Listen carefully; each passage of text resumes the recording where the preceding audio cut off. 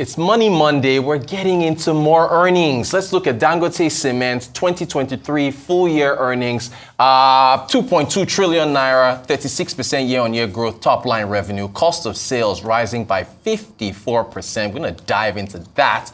Gross profit 1.3 trillion, 26. But then there it is making headlines, the FX loss. But unlike other companies, Dangote Cement was still able to pull in a profit 20% year on year higher uh, after tax, 455 billion. Let's dive in. Uh, we have another uh, top analyst with us. It's back to back analyst today. And he also has a three syllable name like Arnold Dublin Green. This is James Ola Adisa. He's an industrial analyst with Chapel Hill Denham, and he's joining us to discuss it. James, you're very welcome. Good morning Thank you, you so much for having me. Fantastic. All right, let, us start at the top level for Dangote Cement.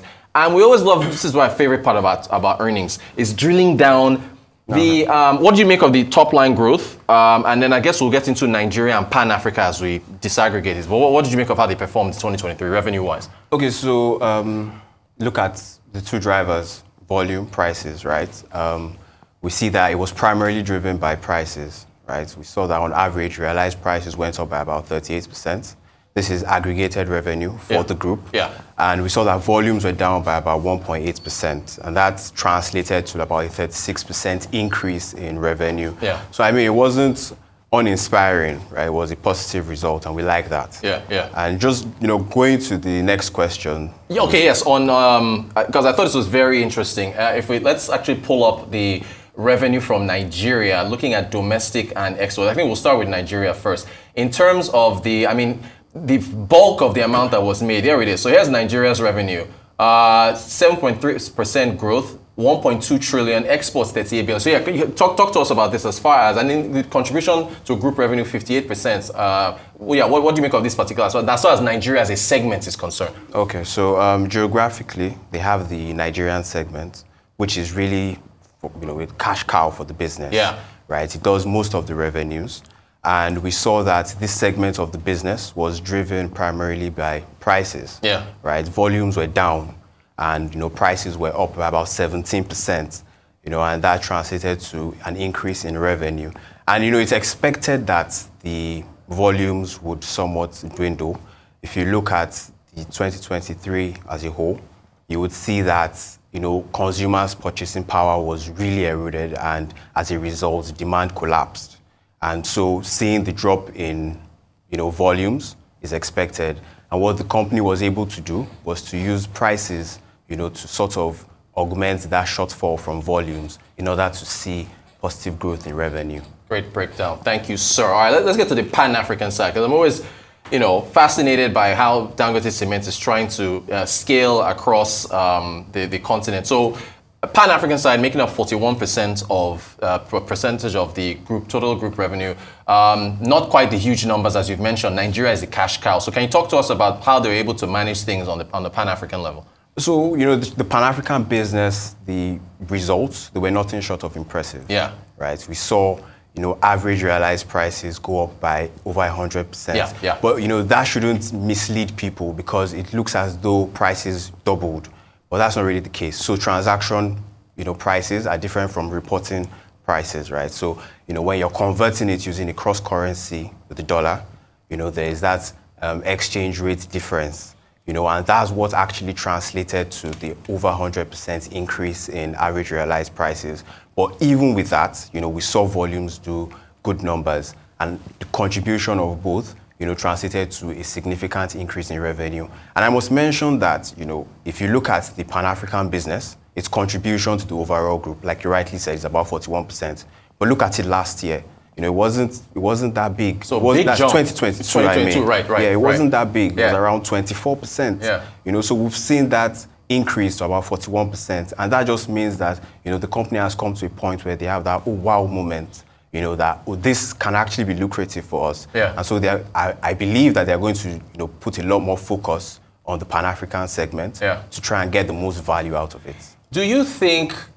Um, hopefully, we'll maybe we'll get we'll get uh, the chief financial officer again in, in here. Um, we had him last last year. Do you think um, Dangote will want more exports as opposed? This I'm just I'm just spitballing here, asking a random question. But do you think they would prefer to boost their exports more as opposed to drawing revenue from the domestic side, or did they want the best of both worlds? Uh, so I would say they would want the best of both worlds. And so you would have to look at it this way. Yeah. So domestic sales accounts for a significant portion.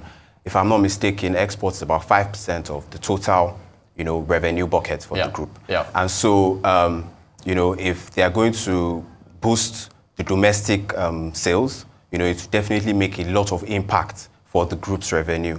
But you would also see that they've been making some strategic moves Yeah. to boost their export sales. So they have two ports, both of which have about 2 million tons capacity. You know, they also have a new plant that they are building in Ogun State, Itori to be specific, Yeah. you know, about 6 million tons, if I'm not mistaken. And, you know, that is geared towards exports. So it means that in the mid to long term, the company is looking at really getting the most value from you know, export sales. So they're trying to get the best of both worlds. You look at FX, you know, that's important. You know, so, and if you're exporting, you're going to get in FX. Yeah, and that's yeah. going to be very helpful for the company. Yeah. So I think best of both worlds is, is Is it? It is. All right. Um, I'm glad you mentioned FX because if we look at the top, the earnings again, 164 billion naira loss. These FX losses, you know, we talked, we've had with analysts here on Nestle. We've looked at, eh, you know, MTN, Nigeria. MTN, I think the analyst call is at three o'clock today. Um, devaluation, yeah. Is that is that what what more is there to be said? Can you talk about the FX loss that they that they faced? I mean, 164 billion is a lot of money. Hey, it is a lot of money. Right. it's a lot. So you look at their loan book, Yeah. you see that 70% of that loan book is exposed to FX. Wow. You know, so it immediately tells you how they're able to see 164 billion in FX losses. Yeah. You know, and that added pressure to their bottom line. It was, you know, a significant amount of money. Yeah, yeah. Um, I guess this is probably tied to the net finance costs. Since you mentioned the loan book jumping by about 209%. Oh, Was that the same similar story, or what, what's what's with the net finance cost there? So for the net finance cost, you know, it was first of all the fixed finance income declined. Yeah.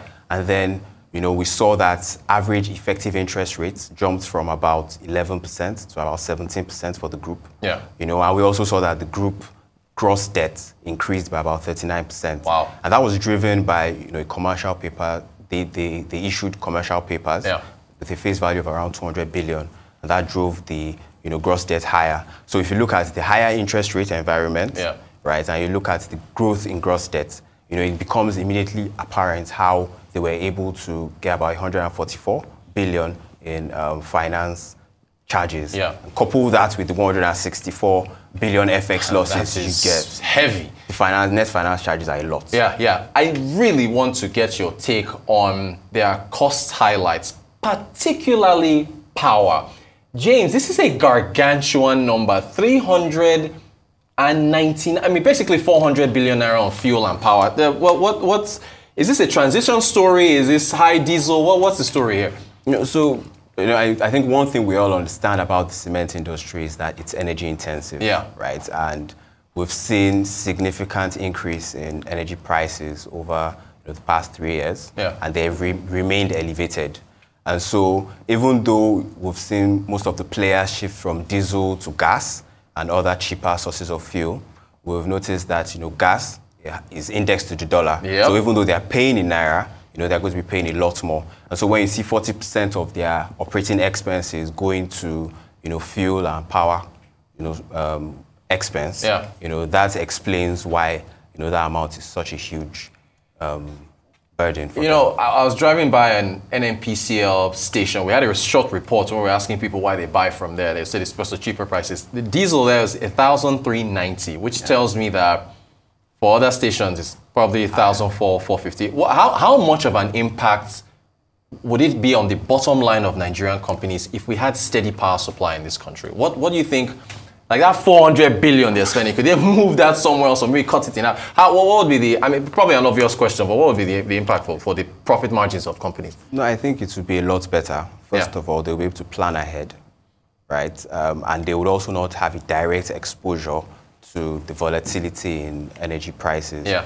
You know, so that would significantly allow them to, you know, if they were to hike prices and maintain their costs, you know, they'll be able to understand how to do that effectively, Hmm. you know, while not affecting possible demand yeah. products. Yeah. yeah. Uh, let's talk about retaining talent. Uh, salaries and related staff costs 57% climbed to 71 billion. Um, what, what do you make of that? You gotta you have to pay good money to keep your your best talent. Yes, yes, it's true. You yeah. do have to pay good money to, to keep them, and you know we've also seen that the cost of living has increased in Nigeria. Right. Right, and you know companies have to look out for their employees.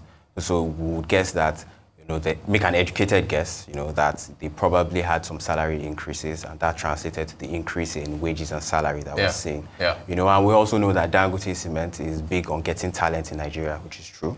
You know, I have spoken to some industry experts who have told me that, you know, they also go to the retired pool of, you know, some of the, or some of their peers who were, you know, who had employees that were trained by experts, yeah. you know, to be able to retain these guys. And obviously to get that, you must pay them you good got, money. Got to pay top, exactly. top, top naira in order to retain them. exactly. Um, let's talk about the stock price. I know the exchange is already trading now as we speak, but going back to um, Friday, I think the stock closed at 668 or something. Yeah. But um, have you, and I think it's outperformed the NGX, 114% I think yeah. yesterday. Have you have you seen the performance of Dangote um, stock price? Um, so it has been you know, in January, we saw significant gains in the market yeah. driven by Dangote Cement, right? Yeah. And that can be attributed to, you know, the interest, the buying interest that we saw from a very savvy investor, Femi Otedola. Yeah. Right? He was aggressively buying it in the open market. Yeah. Right? And, you know, that translated to a significant rise in the stock price. At that time, you know, market was valuing the stock at around 370, right? And now we're seeing it at around 700. Yeah right? So that's a significant jump. But one thing we've noticed about the trend of you know, companies that have the Otedola effect is that they typically tend to they don't, they don't decline, yeah. right? So you look at FBNH, you look at Transcorp, you know, these companies or this stock rather are still trading at you know levels that they were when he entered into the stock. Yeah. You know, so we would expect something similar to possibly play out for Dangote Cement. Interesting. Um, I have to ask you about, I guess, macro issues. Yeah. The federal government inviting cement players um, to fix the price of cement at about 7,000 naira a bag to try to stem these rising prices.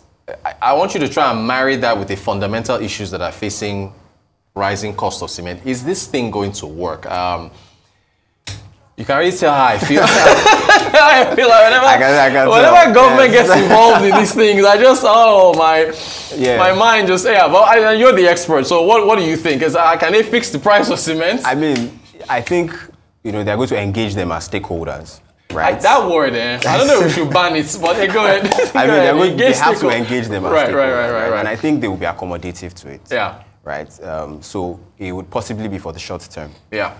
And because they are accommodating the government, it means that it's going to eat into their margins, specifically their profitability margins. Yeah. If we look at their EBITDA margins, what we see is that, you know, based on our estimates, if they cut cement prices by about 10%, we could see EBITDA margins fall from an average of 39% for the industry now yeah, yeah. to about 28, 29%. Wow. And if they do cut it by 20%, you yeah. know, we could see the EBITDA margins shrink to about 20%. That's you know, that's really biting the bullet. Yeah, yeah. Right. So we, we think that it will be for the short term, right? And if they are looking long term, I mean, the, the, the, cement players now, they would see that there can be some future benefits from the government if they accommodate them now. Mm. So in order to, you know, it's a trade-off they have to be, they have to think properly about. Yeah. You know, so if they accommodate them now, they could enjoy some future benefits later on. Well, we will observe. We yeah. will see how things uh, play out. I guess, okay, overall, just final question. How do you see the sector, industrials, cement, and so on, playing out for 2024? How do you, how do you? I remain positive, yeah. Uh, and I'll tell you why. So, um, we look at Nigeria, we see that demand dropped in 2023. You know, but we don't expect to see the shocks that translated to the, the drop in demand in 2024. And so that would mean that demand will pick up you know, we would expect to see the private sector be more, you know, participate much more in infrastructural development, and that would possibly drive it. Um, you know, demand is what I mean. And, you know, we also see that the government is big on capex, capital expenditure. And if they are going to pull through with their capex plans, then, you know, that would also contribute to the demand growth. And so I think the outlook is positive for the cement sector.